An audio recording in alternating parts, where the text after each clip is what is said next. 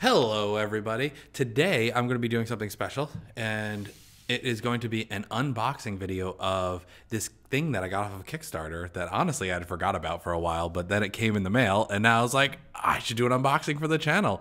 And it's a really cool thing, and I'm really excited for it. And it mixes one of my hobbies that I've been talking about that I wanted to work a little bit more into the channel, and that is Dungeons and Dragons. So, what I have here is I have the fresh off the presses Anime 5e book. This is a anime inspired Dungeons and Dragons book. And I, am super excited for it. I saw it come onto Kickstarter and I had to get it because it mixes two of my favorite things, and those are anime and Dungeons and Dragons. And I, I'm I'm gonna you know let you guys take a look at it. I have not seen what it comes with, so I'm pulling everything out of the envelope now. I don't really know what that is. Oh, is it a bookmark?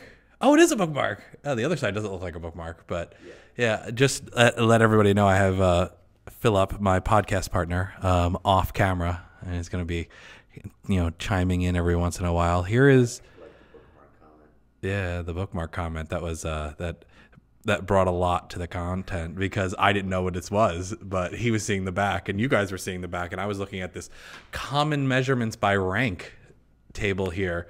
So, bookmark. Uh, we have a sticker. This book belongs to and then an anime 5e thing.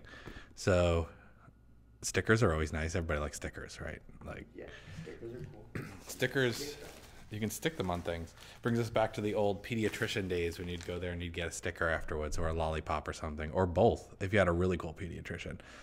This is a character folio. So I guess this must be character sheets. And oh, I can, I don't think I'd be able to bring myself to actually write on any of these. I wonder if they have printable copies. They probably have printable copies where I'd be able to print out new ones and not have to tear out of their beautiful book here. Oh, it's interesting. There's like spell sheets. So it's a little different from what, if anybody is familiar with what 5e typically looks like, it looks different from that. I mean, I know that's probably like a copyright thing, so they probably have to make it look a certain amount different. But the book is really cool.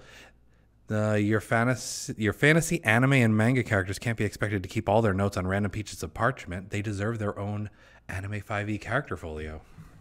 They do deserve that. I, I believe so.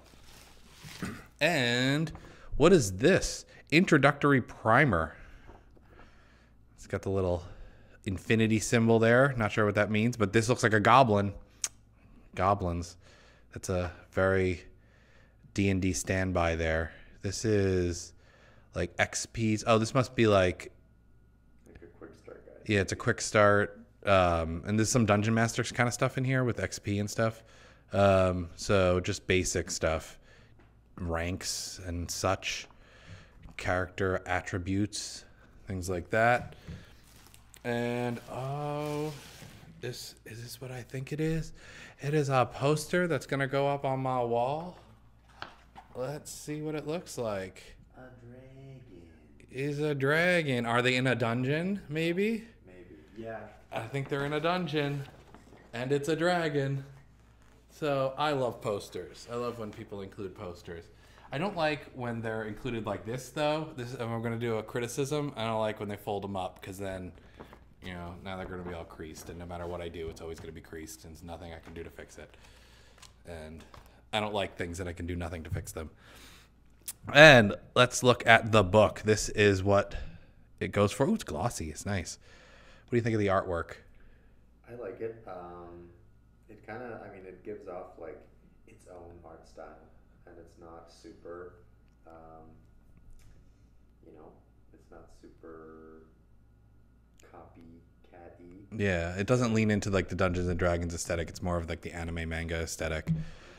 And oh, let's see some stuff in here. So we have. Um, I'm gonna do a more in-depth review of this when I get a chance to actually kind of like look through. But just kind of looking at this, the artwork is very consistent going through. There's, there's a different. There's the half troll, the half dragon. There's there's a cat, an anime cat girl. There's a snake person. There's got to be an anime cat girl, or the the men of uh, VR chat would be very upset. There's the anime cat girl. Um, the guy with blades, who is a parasite, which I guess is referring to the anime parasite, probably. Uh, a satyr, nice little drunken goat guy. You could be a slime, like that time I was reincarnated as a slime, which looks very similar to the, the, the character from time I was reincarnated as a slime. There are wee folk. There are there's a lot of different things in here. Like, ooh, you can be a gray, which just looks like an alien. If you just want to be an alien, you can be an alien. Um, and a fairy. If you want to live out your like Lisa Frank fantasies. Or your uh, Sword Art Online Yeah. season, what season two, I guess. Right. Um, Blink Beast and Demonog Demonaga and the Blink Beast. That's interesting. It's kind of like a minotaur kind of thing. This also looks kind of like a fairy, but and an archfiend. There's a lot of interesting, interesting things. They definitely kind of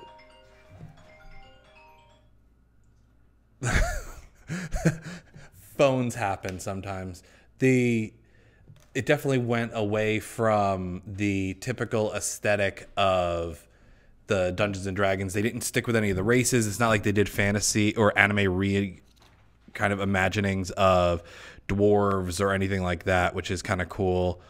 So, like I said, I will do a more in-depth review of this once I get a chance to actually kind of like look through everything, see how it is mechanically. But there's definitely some cool stuff in here, and I'm like, ooh, this kind of looks like um, uh, what's his name? Momo is his name from uh, I can't remember his name from Avatar: The Last Airbender. This that other guy, I think it's Momo, um, and yeah, it's definitely really cool. I'm super excited to jump into this and either have someone run a campaign or run my own campaign. I kind of want to run a campaign out of this. I, I have a D&D group that's a regular D&D group and I think this would be a cool change of pace. So, if you want to see more of this D&D content or unboxing content, then definitely let me know down in the comments below. Oh, that's cool. There's new classes and everything. Let me know in the comments down below. Subscribe to the channel so you don't miss any of the new content that we have going forward. There's a lot of stuff that's going to be happening going forward. Ring that notification bell so you know what's up. And I will catch you in the next one, everybody.